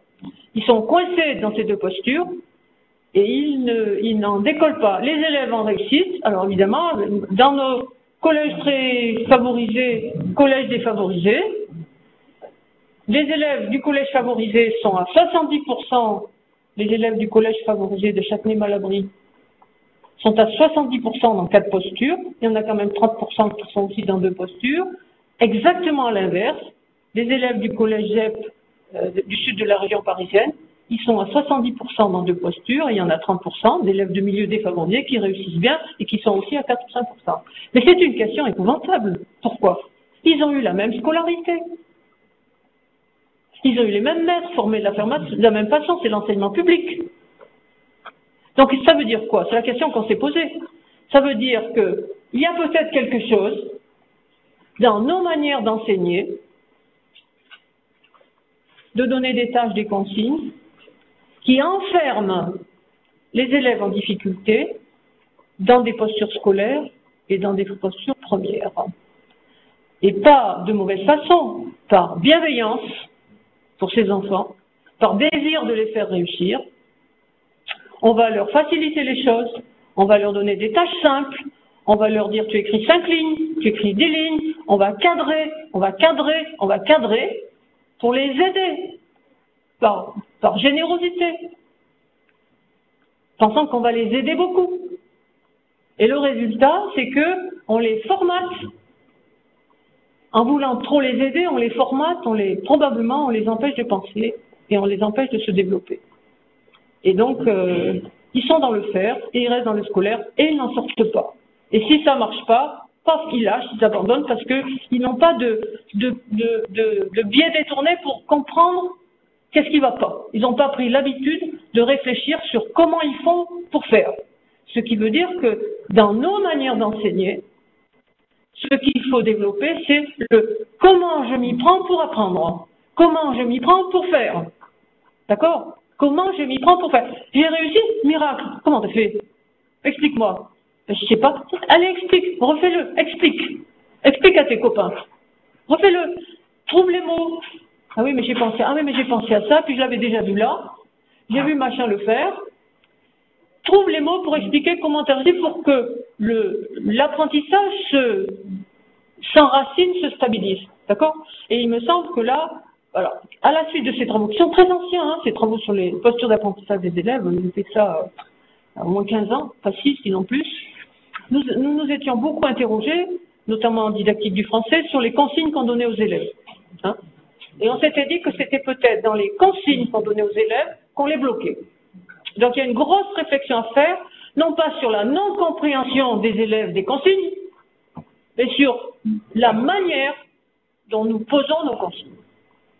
Pas parce qu'elles ne sont pas comprises, mais parce qu'elles enferment, elles cadrent trop, elles canalisent trop, elles empêchent de penser. C'est pour ça que, après, nous avons beaucoup travaillé sur des consignes successives pour que les élèves ils soient dans une posture de faire. Allez, consigne de faire. deuxième consigne, on revient sur euh, comment on s'y est pris pour, etc., ou une autre consigne pour aller plus loin. Donc du coup, on a avancé sur les postures des enseignants qu'on a étudiés pareil, vidéo, film, euh, énorme travail, hein, c'est pas pas des mots comme ça. Hein. Et donc, nous avons identifié chez les enseignants, je vous donne la fin avant de vous donner le début, nous avons identifié chez les enseignants aussi des postures. Et qu'est-ce que c'est que les postures? C'est des manières d'agencer les préoccupations de tissage, d'étayage, d'atmosphère, etc. Hein. Autrement dit, l'élève, les élèves ne répondent pas à un geste, un seul geste, euh, mais ils répondent à un ensemble de gestes qui font sens pour eux et qu'ils comprennent très vite. Je vais m'expliquer. Nous avons identifié chez les enseignants euh, 1, 2, 3, 4, 5, 6, 7 postures qui sont jamais comme ça, mais c'est un espèce de continuum. Je suis dans une posture, puis je passe dans une autre, puis je reviens, puis je passe dans une autre, etc. Donc, la posture euh, dominante chez des enseignants débutants, très débutants, c'est mon métier d'avoir beaucoup travaillé sur le développement professionnel. La posture dominante chez les enseignants débutants, c'est la posture de contrôle. Qu'est-ce que c'est que la posture de contrôle? C'est, j'ai toute la classe devant moi, je suis sur ma tour de contrôle, je pose des questions, j'ai la réponse, je valide ou j'invalide la réponse. Donc euh, voilà, l'enseignant a parlé deux fois, un élève a parlé une fois, puis je pose une question à un autre, puis un autre, etc. C'est ce qu'on appelle le cours tour de contrôle. D'accord? Pseudo-maïotique. Pseudo-maïotique. Les élèves répondent par un mot, deux, l'enseignant fait une grande phrase. Alors on a mesuré, on a quantifié tout ça. Hein. Et en gros, la quantité de paroles de l'enseignant, pas chez vous, pas dans le lycée professionnel. Justement parce que euh, il y a d'autres choses qui se produisent. Euh, la quantité de, paroles d'un enseignant, notamment en collège, moi à l'école primaire, ça commence à se calmer un peu l'école primaire, c'est 70% du temps de parole, c'est l'enseignant qui parle. Au lycée, n'en parlons pas. Ça doit monter plus haut encore. Il y a un silence, on passe dans les couloirs. Silence. On n'entend que la voix du prof. Que la voix du prof. Alors, la posture de contrôle, voilà. Euh, ça, c'est ça. La posture très utilisée par les, par les étudiants, par les, jeunes profs, mais aussi par les universitaires, ce que je fais, ce que je fais, puisque vous taisez, c'est la posture d'enseignement. Là, j'enseigne, je fais cours. C'est-à-dire, je mets des mots de savoir, je vous, transmets des savoirs et j'essaye de vous donner des mots précis qui vont vous servir d'outils pour continuer à penser. C'est mon boulot. C'est la posture d'enseignement. Cette posture d'enseignement, elle survient dans une classe de collège, de CP, etc. Elle survient en fin de cours, en milieu de cours, ou en lycée, c'est non-stop. Quand on demande à un étudiant de nous présenter sa préparation de cours de mathématiques, moi j'ai été, hein, sa préparation, c'est c'est parce que les élèves vont faire. C'est tout ce qu'il va raconter. C'est ça ta préparation? Ben oui. Donc la représentation qu'il a de son métier, ce jeune prof débutant, c'est qu'il a un cours à débiter. Et encore forte. Hein bon. Donc la posture d'enseignement, c'est mettre des mots d'enseignement, des savoirs. Voilà, posture d'enseignement. À l'opposé, évidemment, la posture de lâcher prise, c'est quoi la, ou d'apparent lâcher prise, quand on est en primaire et en collège, et encore que, c'est la posture où le prof peut tourner le dos, il a des élèves qui sont en autonomie, qui sont en train de travailler tranquillement sur leur machine, sur leurs ordinateurs, ou travailler en groupe, mais sans intervention de l'enseignant. C'est-à-dire qu'on leur fait confiance, on leur donne des tâches qu'ils sont capables de faire, pas des choses insurmontables, évidemment, ou des choses, des tâches qu'on a déjà fait, qu'on fait reprendre dans un autre contexte, et on lâche prise complètement, complètement. Et à l'école primaire, on lâche prise quand même en ayant un œil dessus pour pas qu'il se, se blesse. Hein et en collège, les, profs, j'ai plein de vidéos comme ça, les profs tournent le dos, s'occupent d'un groupe pendant que le reste travaille en jet profonde. Euh, moi je travaille à la paillade, à Montpellier. Hein euh, et les élèves nous disent, le prof nous tourne le dos, ben, il nous fait confiance. Et on a une atmosphère tout à fait calme. De manière paradoxale, euh, en, tournant des films comme ça, on a vu que le fait de tourner le dos, le prof au début n'avait pas fait exprès de tourner le dos. Et puis on observe avec lui, et en réalité, les élèves qui essayent de perturber, sont très très doués pour ça, ils cherchent à capter le regard de l'enseignant. Parce qu'en captant son regard, il va forcément interpeller. Et toc, toc, toc, toc, toc, c'est monté, ça après 10 minutes, c'est gagné. Et là, on les voit faire, ils font les guignols dans le dos du prof, mais comme les autres élèves, ça les intéresse que très médiocrement, parce qu'ils ont l'habitude, ça c'est ça. Donc, quelque part, le fait de tourner le dos et de lâcher prise complètement fait que ces, leaders qui essayent de perturber, vous connaissez, hein voilà. Donc, la, la posture de lâcher prise, c'est cette posture-là. La posture euh, de surétayage, c'est la posture par laquelle euh, on donne une tâche à faire. Moi, je viens de subir un exemple hier tout à fait magistral. Euh, j'ai changé d'ordinateur, j'ai planté mon, mon, mon, mail, il y a un copain qui passe à la maison, j'ai dit, écoute Jean-Charles, il faut absolument que je, je, sais pas, je suis dans la panique, là, j'arrive pas, je comprends pas ce qui se passe, Et puis, euh, c'est un nouveau logiciel de PowerPoint. C'est plus pareil. J'ai une conférence à faire demain. Euh, je, bah, là, il faut que tu m'aides et, tac, tac, tac, et tac, tac, et tu touches ci, tu touches ça, et toi, c'est facile, etc. Et au bout d'un moment, j'ai, comme c'était un grand, grand ami, j'ai rien dit, mais j'ai rien compris. Sur étayage, c'est-à-dire que je fais, il avait pris les commandes, je fais à la place de, en pensant que simplement en faisant à la place de, ça va permettre de comprendre. Euh, que nenni. Ça empêche, parce que du coup, l'angoisse monte. Hein parce que quand c'est mon collègue, on a travaillé pendant 15 ans ensemble, euh, je me suis sentie très nulle. Hein très, très nulle. Voilà. voilà. Donc ça, c'est la posture de surétayage. On fait l'élève, on pose une question aux élèves, on n'attend pas qu'ils aient eu le temps de réfléchir, on leur donne la réponse parce qu'il faut avancer dans le cours. Et la posture de sous-étayage, c'est aussi quelquefois qu'on leur donne des tâches trop difficiles et on les laisse se dépatouiller euh, longtemps. Alors, euh, il y a des théories là-dessus, je ne les partage pas, selon lesquelles ils vont finir par trouver une solution entre eux. Je les partage qu'à moitié. C'est-à-dire que le rôle du maître, il est quand même important. Il faut qu'il y ait un pilote dans l'avion. D'accord?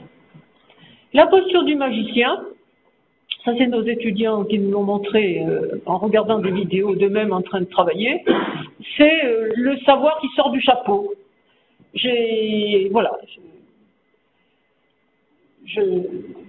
l'exemple que je donne pour bien me faire comprendre, c'est un souvenir de, de lycée en chimie dans un bel amphi, là, il y avait le prof qui était en bas, nous on était sur les rayons, sur les, sur les rayons, sur les bancs, et euh, elle faisait euh, des expérimentations en chimie, euh, passait, mettait une fiole, un produit, un autre produit, elle expliquait des réactions chimiques, j'imagine. Et puis elle faisait le boulot et, voilà, c'était magique. Et elle nous donnait la solution, la réponse. Donc euh, ça sortait du chapeau. Voilà, c'était beau, ça nous plaisait beaucoup, mais euh, ça construisait pas grand-chose comme savoir. Mais c'était beau quand même, hein c'était sympa. Voilà. Donc tout ça pour dire que l'enseignant expert, ce que nous avons vu, qui accroche, accroche l'attitude des enfants, qui les lâche pas, c'est celui qui est capable de circuler sur l'ensemble de ses postes, en évitant le sous-étayage, quand même peut-être, mais encore de temps en temps, c'est possible. Et on voit qu'il passe d'une position d'accompagnement. Alors la position d'accompagnement, c'est typique, ce que nous avons montré dans les travaux dirigés, que je vais un tout petit peu développer ensuite, c'est l'enseignant, il est avec 6 ou 7 élèves, hétérogènes, pas une trop grande hétérogénéité, une hétérogénéité moyenne, qu'il a bien choisie. Il y a une tâche qui est donnée, une tâche difficile, et il est là pour les aider à faire une tâche difficile ensemble, avec son aide. D'accord? Et là, la question n'est pas d'aller à toute vitesse. Le pilotage, il est tout à fait tranquille. On laisse du temps au temps. L'atmosphère est forcément extrêmement de proximité puisque l'enseignant, il est assis en proximité avec ses élèves. On est en face à face. Les, les loulous un peu leaders, on les met là. Donc on les a, on les valorise non pas sur leur conduite euh, agressive ou violente, mais sur leur talent et leur savoir-faire, parce qu'ils en ont plein en général, on les valorise d'une autre façon. Les élèves qui ne parlent jamais ont un espace de parole, et du coup, l'enseignant se rend compte que sur un même objet, alors je vais vous parler de, de choses d'enseignement du français, euh, il se rend compte que euh, ben, c'est pas la même difficulté pour l'ensemble des élèves. Donc, il va les accompagner individuellement, en fonction des réponses qu'ils vont lui faire, mais il va aussi mettre en place ce que nous avons appelé des gestes sociaux d'apprentissage. Euh, T'écris un texte à commencer, tu le fais lire au voisin, tu lui dis ce qui va pas, euh, etc. On leur apprend que, apprendre, travailler, ben oui, travailler, ils vont travailler, nos, nos, nos, nos élèves là. On travaille plus tout seul, on travaille ensemble. Donc les gestes sociaux du travail et de l'apprentissage, ça se construit à l'école. Et c'est pas gagné.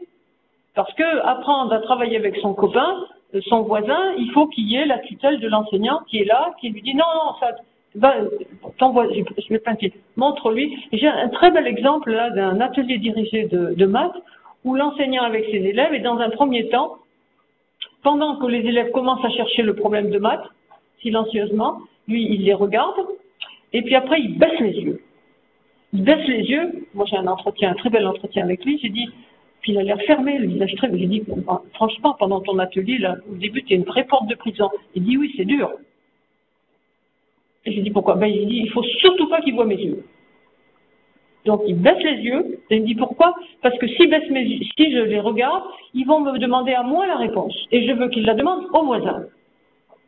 Et on le voit, hein. Et petit à petit, la bonne élève qui voulait se valoriser par rapport au prof, il ne la voit pas parce qu'il est comme ça, il écrit. En fait, il est en train de noter tout ce que les élèves sont en train de faire. Il a une observation hyper, hyper fine des élèves. Et, euh, il est, et on voit la bonne élève qui demande à la voisine, et ça y est, l'entraide se met en place entre les élèves, etc., etc. Et là, c'est ce que j'appelle la posture d'accompagnement. D'accord? Tranquille, tranquille, calme. Ça prend un petit peu de temps peut-être, mais en gros, on fait durer les ateliers à l'école primaire une demi-heure, en collège 40 minutes, 40, 45. Mais ça peut être aussi des ateliers de 10 minutes. Hein. Il y a une, grande variation sur cette posture d'accompagnement. Donc, autrement dit, l'enseignant très expert qui réussit, qui accroche les élèves, hein, euh, ben c'est l'enseignant qui circule sur l'ensemble de ses postures. Et la posture du magicien, elle est tout aussi nécessaire, parce qu'il faut capter les élèves. Hein. Euh, travailler sur l'érosion, sur l'érosion des rivières euh, créées par les rivières, ben, on prend les informations télévisées, là, il y a, y a de quoi faire. Et puis on met l'événement, l'émotion, parce qu'il faut travailler avec l'émotion avec les élèves. L'émotion est le, la première manière de rencontrer l'autre. C'est la première manière de rencontrer un apprentissage. Et on crée des émotions, et autour de ces émotions, après on discute, on, plutôt que de prendre des photocopies grises et noires ou fatiguées, etc., on est dans la vie et on, essaie de, capter, de faire des liens. Voilà, donc euh, toutes, ces, toutes ces postures sont nécessaires. Voilà. Cela dit, on sait aussi, et ça on l'a montré avec beaucoup de films, euh, que lorsque les enseignants, et c'est le cas, et c'est le cas tristement, euh, c'est là qu'il y a un virage très très important, les enseignants de ZEP, dans les collèges notamment où on a travaillé, à l'école primaire, ils sont majoritairement en posture de contrôle. Et quand on discute avec eux, on a des entretiens, ils disent, il faut les cadrer. Il faut les cadrer. Ils n'ont pas, ont pas de repères, ces petits, il faut les cadrer, mais on cadre tellement qu'on a les élèves en posture scolaire et absolument pas en posture réflexive, et on a des élèves aussi en posture de refus, tellement cadrés qu'ils n'en veulent plus. Quand on a des enseignants qui sont très souvent et majoritairement ou à des moments très précis de la, classe en posture d'accompagnement, on a beaucoup, beaucoup plus d'élèves qui sont en posture réflexive parce qu'on leur, a laissé des espaces pour, pour réfléchir, pour penser. leur parole a été entendue, reconnue, et le goût de l'apprendre revient parce qu'ils ont dit des choses qui ont été trouvées intéressantes par l'enseignant, et puis il va s'en servir, s'appuyer, etc. Donc ce qu'on sait, c'est qu'il y a un jeu, c'est les travaux de mon labo, ça, c'est bourré de ça. Il y a un jeu étroit entre posture des enseignants, posture des élèves, et réciproquement. C'est-à-dire que vous avez des élèves qui sont dans certaines postures, de scolaire, ça, ne veut pas réfléchir, ça ne veut pas penser. Voilà, je dis ça de manière euh, un peu, un peu pour montrer les choses. Euh, des étudiants ne veulent pas réfléchir, ils veulent prendre des notes, prendre des notes, prendre des notes, parce que réfléchir, euh, c'est fatigant. C'est bien plus confortable de prendre des notes, prendre des notes, prendre des notes, être scolaire, prendre des notes, voilà. Qu'à l'université, on a pris des notes, après on continue de prendre des notes, plus que ça, l'université eh ben, vous, basculez en posture d'enseignement. Vous, n'arrivez pas à circuler dans les postures. Et donc, dans, certaines classes, adopter, notamment en collège, moi j'ai longtemps été prof de collège, euh, lorsqu'ils sortaient de chez certains profs où ils avaient été obligés d'écrire, d'écrire, que moi je voulais les, faire parler, etc., etc., c'était pas facile. Parce qu'il fallait changer de braquet. Voilà. Donc, en gros, quelque part, on a un jeu une co, on appelle ça la co-activité maître-élève, qui est, etc. La morale de l'histoire, il faut essayer d'être plus en posture d'accompagnement, moins en posture de contrôle. Bien sûr qu'il faut être en posture d'enseignement, mais au bon moment, euh, et pas forcément au milieu du cours, et pas forcément à la fin du cours. Il y a des moments d'enseignement. Là, on se tait, j'enseigne. Quand on est dans un atelier, on parle. Mais quand j'enseigne, vous vous taisez. Donc les élèves sentent très vite, hein, ils sentent très vite ces choses-là. Il me reste l'atelier, donc voilà, j'en ai parlé, hein, un étayage de grande proximité pour observer les élèves, les faire parler, les faire travailler, etc., avec une posture d'accompagnement dominante. J'ai expliqué tout ça. Pour la mise en place de ce qu'on appelait des gestes d'études fondamentaux, euh, comment je travaille, comment j'apprends. Voilà. Je vais basculer rapidement parce que je sais que vous n'êtes pas tous, euh, j'allais dire, excusez le mot, sur les questions de d'écriture directement, même si l'idée, c'est que la question de l'écriture, de mon point de vue, doit être au cœur de tous les apprentissages. Et quand je dis écriture, c'est pas forcément euh, un grand texte, ça peut être des prises de notes, ça peut être des descriptions, ça peut être etc. Voilà. Et parce que l'écriture, elle est au cœur euh, des femmes de la démocratisation. Les élèves, de mon point de vue, par rapport à tous les travaux que j'ai pu faire, n'échouent pas à l'école pour des questions ni d'oral ni de lecture.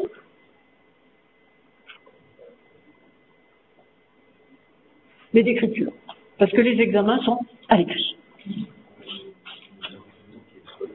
On a un enseignement de l'écriture, sur l'écriture. Donc c'est à l'écrit qu'on fait de la discrimination. Voilà. Donc, bien sûr, l'armée mesure la lecture, mais notre problème à nous, fondamentalement, j'ai écrit un bouquin, là, pour apporter quelques-uns, pour une refondation d'enseignement d'écriture, où j'ai synthétisé tous les travaux, tout ce que je vous raconte tout le temps. Hein. Euh, euh, fondamentalement, c'est la question de l'écriture qui doit être au centre de tous les du socle commun, que ce soit premier palier, deuxième palier, troisième palier. La question de l'écriture me paraît tout à fait importante. La question de l'écriture, c'est les c'est la traduction des pannes de la démocratisation scolaire. Voilà. Et notamment l'écriture où je commente euh, ce que je fais. voilà. Alors j'avance un tout petit peu parce que je vais vous donner deux textes pour vous montrer, voilà, un petit de CM2. Iliane, je crois qu'il est arrivé depuis un an. C'est à Chartres, c'est le, texte d'un enseignant de, qui, est, qui, est, formateur maintenant à l'UFM de Chartres. Et ils ont à décrire en histoire, décrire en histoire, vous connaissez, vous avez tous eu ces images de la Révolution française où il y a le clergé qui écrase euh, le tiers-état, le clergé et la noblesse qui écrase le tiers-état, et donc l'image à décrire, c'est cette image. Il y a une personne par terre, allongée avec à côté de lui une pelle, il y a une grosse pierre sur lui, il y a deux personnes, un homme et une femme, d'après on ne peut pas lire, sur la pierre pour écraser la personne qui est en dessous. Sur la pierre, il y a écrit quelque chose, à côté, il y a une sorte de charrette toute cassée, ils sont dans un champ. Voilà le texte 1 de Higan. Si on diagnostique rapidement et de surface, on va dire que cet élève est quand même en assez grande difficulté par rapport à des compétences attendues sur le plan orthographique, syntaxique, etc. Il y a, il y a, il y a. Bref, il y a pire, vous me direz. D'accord, on est d'accord là-dessus. Bref. Mais ce qui est intéressant, c'est que le même Iliane, voilà le texte d'Iliane trois semaines plus tard. Être la compétence mesurée, c'est être capable d'écrire un texte argumentatif à partir de la description d'une image. On est en histoire. Là, il y a un titre, les impôts qui écrasent le tiers d'État, donc il y a conceptualisation. Hein. Je vois sur le premier plan deux personnes sur une pierre et une sous celle-ci. Sur la roche, il y a écrit taille, impôt et corvée. Je suppose que la personne qui est en dessous de la pierre est un membre du tiers-État, car il a une charrette, des fruits, une pelle et du blé. J'imagine que la personne qui est à droite du gros caillou est un membre de la noblesse, car il a une épée, des bottes, une redingote, un chapeau, etc. Là, bien habillé. Je crois que la personne qui est à gauche est un membre du clergé, car il a une soutane, une toque, une Bible et un rabat. Je pense que le message que l'auteur veut poser, conclusion, est que le tiers-État est écrasé par les impôts qu'il doit payer pour les nobles, le clergé et le seigneur. Vous, imaginez, vous voyez le parcours. Hein. Ce parcours ne s'est pas fait n'importe comment. Quand euh, le, prof nous raconte, c'était une, conférence du GFEN des ateliers qui nous a présenté ça. Mais il y a eu tout un tas de travaux oraux, il y a eu tout un tas de lectures, euh, il y a eu tout un tas de, textes intermédiaires et où l'argumentation historique Je, vois, mode de pensée, je suppose, j'imagine, je crois que, et je pense que, c'est pas du français, c'est pas un récit en français, c'est un récit historique. Enfin, c'est pas un récit, c'est une argumentation historique. Ça a été travaillé, on a donné des modèles, euh, il y a eu des jeux de rôle entre les députés qui se qui se entre eux. Enfin, les enfants ont vécu beaucoup de lectures, beaucoup d'écriture, euh, etc. Et on a les textes des autres élèves. Celui-ci est, est, un, est on a une évaluation ultérieure, il a gardé ses compétences. Donc, ce que je voulais dire tout à l'heure, c'est que si on fait beaucoup lire, beaucoup écrire, beaucoup, travailler, beaucoup parler et qu'on prend du temps, du temps, bien sûr que les enfants sont capables de développer des compétences, euh, y compris quand on est, euh, euh, je sais pas comment les appeler, secondo arrivant, ça fait un an qu'il est là, quoi. Et j'en ai, d'autres comme ça. Donc, euh, je reprends socle commun, ça c'est, c'est des documents officiels, hein. L'apprentissage des langages est étroitement dépendant des pratiques dans lesquelles ils sont engagés, mais dans la classe de ce collègue, il y a eu beaucoup de débats, beaucoup de paroles, beaucoup de lectures. Donc du coup, comme il y en a eu beaucoup, variés et divers, axes de la variation, eh bien, il y a des choses progressivement qui se sont installées. Les élèves mobilisent différents langages, c'est dans les textes officiels, pour décrire, alors c'est des, langages dans, l'enseignement euh, général comme dans l'enseignement, décrire, modéliser, modéliser, faire des modèles, des schémas, organiser des données, Dieu sait si c'est difficile, euh, les interpréter pour argumenter, raisonner, prouver, communiquer à l'oral comme à l'écrit. C'est le socle commun, c'est pas un texte d'aujourd'hui. Euh, monsieur l'inspecteur, ça date de quand ça, fait 5, 6, 7 ans, ça. 6 ou 7 ans, ça. Hein voilà. Et c'est aujourd'hui au cœur des nouvelles instructions du primaire et du collège. Et c'est vers ça qu'il va falloir aller tous ensemble. C'est ce que disait le collègue tous ensemble, il faut aller vers ça. Voilà. On ne va pas y aller d'un seul coup, tout seul. Hein. C'est collectivement euh, qu'on va réussir à essayer de laisser un peu plus de place. Euh, on va patiner beaucoup, on va se tromper beaucoup, on va faire des essais. Mais en même temps, ce que je voulais vous dire aussi, c'est qu'il y a dans les tiroirs et dans les revues pédagogiques, du GFN, du français aujourd'hui, ce que vous voulez, il y a des quantités, des quantités d'expériences, d'expérimentation. Dans les revues professionnelles, il y a une revue professionnelle, je ne sais plus comment elle s'appelle, peut-être Dialogue, je ne sais plus, euh, de lycée professionnel de, de l'Académie de Versailles. Il y a des collègues qui écrivent, il y a plein, plein d'expériences de cette sorte. Je vais peut-être passer là-dessus parce que euh, je crois que j'ai dit beaucoup de choses, mais quand même, il y a chez les enseignants, dans notre culture professionnelle, des obstacles très importants, qui sont des représentations qu'il faut absolument interroger. Et peut-être que la plus importante, c'est que, parce qu'elle nous vient d'Aristote, c'est euh, ce qui et puis après reprise reprise ensuite, c'est que on pense et puis l'écriture on traduit la pensée. D'accord? C'est faux. Sauf pour les grands, grands, grands. Stendhal, un jour convoquait son, son, son, son secrétaire et lui dicter le livre. Ça veut dire que le livre, il travaillait, travaillait, travaillait, travaillait, travaillait, le tenait dans sa tête, je disait. Il pouvait dicter Stendhal. La plupart d'entre nous, les idées nous viennent quand même en écrivant. Et une fois qu'on a écrit, on voit, on reprend, il y a d'autres idées qui nous viennent. En réalité, moi j'ai écrit la formule parce qu'elle me convient personnellement. Écrire, c'est penser avec le stylo c'est penser avec le stylo. Notamment, euh, peut-être pas une lettre d'amour, hein. Euh, peut-être pas euh, le petit mot à, son fils le matin. Mais dès lors qu'on a quelque chose d'un peu compliqué à, à, dire, vous avez un projet à rédiger, vous avez une, ah, même même les appréciations que vous notez sur les bulletins scolaires. Hein euh, nécessite de penser et de s'y reprendre, etc. Et donc l'écriture n'est pas la traduction de la pensée. Elle est la pensée en train de se faire. rendre, est-ce qu'on enseigne les normes ou on rend les, élèves auteurs de leur pensée L'idée, c'est de les rendre auteurs de leur pensée.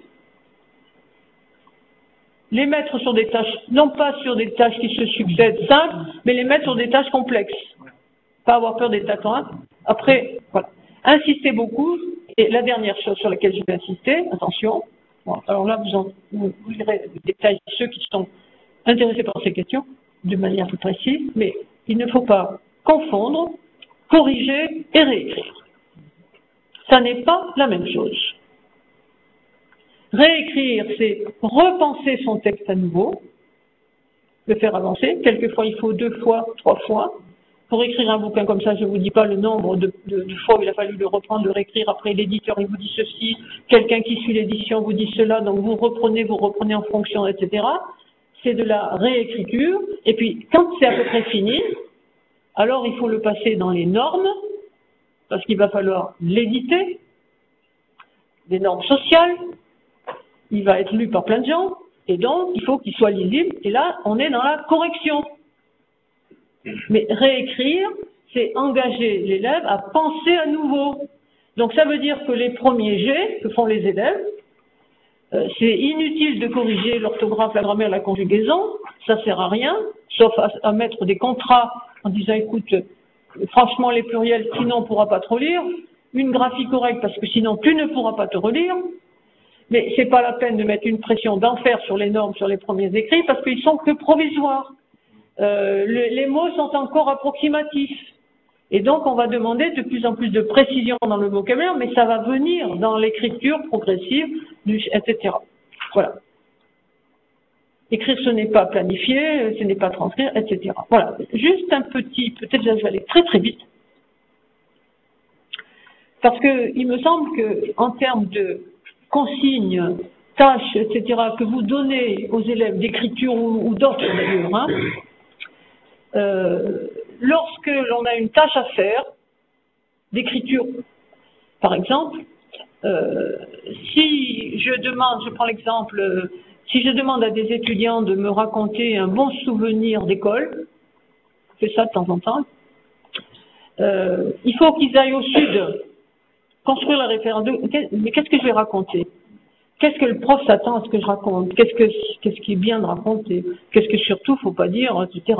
D'accord. Donc il y a tout un boulot sur de quoi on va parler, et c'est des choix euh, un peu particuliers quand même. Hein c'est un choix, etc. J'ai aussi une réflexion à faire sur euh, c'est quoi? C'est un récit, c'est une lettre, c'est long, c'est court, euh, c'est de l'autobiographie, c'est de la fiction, hein, le genre textuel, les normes textuelles à réfléchir. Et puis j'ai la question du destinataire. Qui va me lire? C'est les copains qui sont dans, dans la classe? Ou c'est simplement le prof, etc. Donc en fonction, si je veux faire rire mes copains dans la, rangée, je vais lire autre chose, ou si je veux ou si je veux m'adresser qu'au prof, je vais, je vais dire autre chose. Et derrière tout ça, et c'est là-dessus que je voudrais insister, parce que en lycée professionnel, c'est là-dessus que nous avions beaucoup travaillé sur les questions d'écriture. C'est quelle image de moi je veux renvoyer. Et donc, les élèves, lorsqu'on écrit, vous savez, on envoie sa photo, hein, quelque part, hein, on laisse des traces. Hein. C'est pour ça qu'on hésite à écrire, parce que ça va rester. Les paroles s'en vont, mais les écrits demeurent. Donc la question, quand on donne des tâches, le sens de la tâche, c'est l'ensemble. Qui est le destinataire Qui va me lire euh, C'est quelle, forme textuelle De quoi je vais parler De quoi je vais parler Et je suis obligé de trier. Et puis, du coup, qu'est-ce que je vais renvoyer comme image de moi Juste deux exemples. Je vais finir là-dessus. Deux petites filles euh, une de milieu socialement très favorisé, Marie, une de milieu, de milieu très très modeste, Elodie. Elles sont allées dans la même école tout le temps, elles ont les mêmes maîtres, et elles sont allées visiter la même ferme. Elles ont fait une petite sortie, et on leur a donné la même consigne, et on leur a donné comme consigne de euh, faire un compte rendu pour le journal scolaire. Voilà, c'est tout ce qu'on leur a donné. Et là, nous avons le texte remis au propre, donc la, euh, graphie est jolie, propre. Euh, des fautes d'orthographe, ça n'a pas tant que ça. Hein Euh, et puis, quand elles sont allées à la ligne, j'ai respecté la mise à la ligne, etc. Donc, etc. Mais vous le voyez, ces deux petites filles n'interprètent pas tout à fait la tâche de la même façon. Les élèves de CM1 sont allés visiter une ferme qui se situe à Montcravel. Les propriétaires de cette ferme s'appellent Monsieur et Madame Levieille, qui nous ont présenté la ferme des animaux de cette ferme. La ferme de Montcravel est assez petite. Il y avait des vaches, un chat, un chien, des chèvres que l'on a essayé de traire, des chevrons et même des petits poussins que nous avons pris dans nos mains. Les poussins mangent des graines, les vaches mangent des betteraves et du soja, les chèvres mangent des vitamines et du foin. Nous avons aussi mangé du fromage. Pour faire du fromage, il faut du lait et de la peinture. Ensuite, il faut laisser reposer quatre jours. La ferme était très chouette et les animaux aussi. La deuxième a le même plan, parce qu'on leur a donné le plan. La ferme se trouve à Montcravel. La ferme est à la fois petite et grande. Nous avons mangé des petits poussins, nous avons mangé du fromage de chèvre, nous avons des caprins, les chèvres et les vaches, les bovins. J'ai vraiment aimé ce petit voyage, c'était très amusant à voir et très bon. Si je remonte sur mon tableau, l'interprétation des différentes compétences de performance. La différence entre compétence et performance est très importante. Ce que nous mesurons chez les élèves, c'est des performances. Mais ce qu'il y a dans leur cerveau, dans la boîte noire, dans leur cerveau, les compétences, on ne les a pas directement. Sinon, je dirais, il y en a une qui est plus brillante et plus attentive et plus, je porte un jugement en vitesse, hein, plus attentive, elle a plus écouté, etc., et l'autre a moins écouté, et, la question est réglée. Ou deuxième hypothèse, euh, que j'entends souvent en conférence, c'est « ouais, mais c'est le milieu social ». Et ça ne me va pas, parce que c'est trop court comme réponse. La réponse que moi j'apporte, mais pas forcément, voilà, mon interprétation, c'est que ces deux petites filles, peut-être en raison de leur histoire scolaire et de leur famille, elles n'ont pas la même représentation de la tâche. C'est-à-dire que la plus grande pute, Marie, elle sait très bien qu'elle est à l'école. Elle sait qu'il faut qu'elle montre ses savoirs.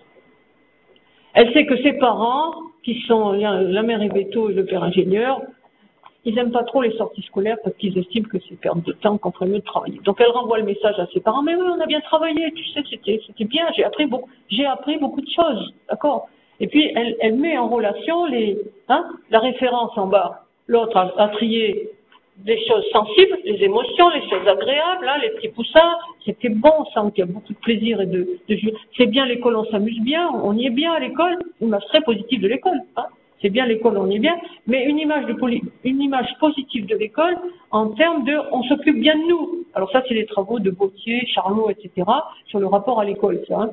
Et en gros, les élèves de milieux favorisés savent que dans les situations scolaires, on attend d'eux qu'ils donnent des, qu'ils travaillent des savoirs. Malentendu non, pour ceux de milieux moins favorisés, qui n'ont pas compris comment fonctionnait l'école très bien, et qui, une petite visite, la petite, elle renvoie son papa, sa maman, son pépé, sa mémé à qui elle fera lire le journal, qu'elle a passé un joli moment. Elle a bien quelques petits mots savants quand même, hein, bovin, caprin, mais en gros, son analyse de la situation n'est pas la même. Et rien ne nous dit que cette petite fille qui a une graphie correcte, une orthographe presque correcte, avec une analyse un petit peu plus précise de pourquoi on fait ça, qui c'est qui va le lire, on en fera quoi après euh, Qu'est-ce que le lecteur s'attend à trouver D'accord? C'est-à-dire en explicitant, non pas en explicitant le sens de la tâche, à quoi elle va servir, qu'est-ce qu'il faut mobiliser, ma main a coupé parce que elle s'est coupée très souvent ma main sur des, des, cas de ce genre, que ces enfants-là, ils vont, comme le petit Lilian avant, développer des compétences. Mon analyse là, c'est pas en termes de déficit intellectuel ou de déficit social, c'est en termes de l'école n'a pas su suffisamment, de mon point de vue, et je l'ai fait, j'ai été prof de collège si longtemps, n'a pas su suffisamment expliciter la situation tissage. Qu'est-ce qu'on a vu euh, Et la première, et c'est clair, la première sait ce que c'est qu'un article de journal, l'énonciation est distanciée, la deuxième ne sait pas. Donc il aurait fallu sans doute donner des modèles des petits modèles de qu'est-ce que c'est qu'un petit article de journal. Voilà. Euh, donc, euh, l'écriture est une tâche beaucoup, beaucoup plus complexe qu'il n'y paraît. Vous le savez, c'est fatigant, c'est angoissant. Il n'y a pas d'écriture qui n'est pas d'angoisse d'une certaine façon. Dès qu'il y a un, enjeu quelconque, euh, voilà. Il faut mettre en ordre, hiérarchiser, euh, il y a des émotions qu'il faut canaliser. Euh, c'est une résolution de problèmes multiples, mais chaque fois, ça c'est la sonnerie, chaque fois que chaque fois qu'on écrit, on, mobilise tout. On mobilise des affects, des émotions, positives ou, négatives. On mobilise sa capacité d'organiser, de structurer, etc. Euh, on mobilise de la culture, des choses qu'on a déjà lues, déjà entendues. On mobilise la vision de l'autre. Ça, c'est le plus difficile. J'ai eu des étudiants en, en licence à l'université de Lille où on faisait des, travaux d'écriture qui, quand ils écrivaient, n'avaient pas encore construit qu'il y avait un destinataire.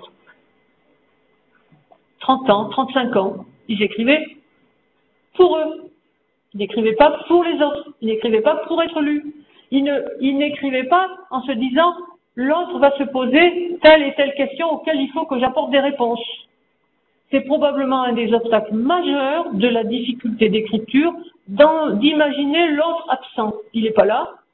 Qu'est-ce qu'il va vouloir lire? C'est pareil pour l'oral. Quand vous fait passer des oraux à des élèves, et vous en faites passer de temps en temps, euh, ils n'imaginent pas la situation. Ils ne savent pas ce que l'examinateur va leur poser comme question. Ils ne savent pas combien de temps ça va durer. Qu'est-ce qu'on attend d'eux? À quoi ça sert?